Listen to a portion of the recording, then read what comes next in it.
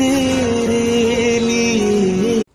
मान्य सदस्यगण, मुझे सभा को सूचित करना है कि आज के दिन भारत ने वर्ष उन्नीस सौ निन्यानवे में कारगिल युद्ध जीता था।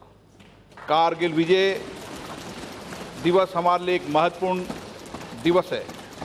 हमारे वीर जवानों ने जिस शौर्य और बहादुरी से पड़ोसी देश से आए सैनिक और घुसपैठियों को भगाकर अपनी विजय पताका पहराइए उसके लिए मैं उन सभी बहादुर एवं वीर सैनिकों सैनिकों के प्रति सभा की ओर से वंदन करता हूँ।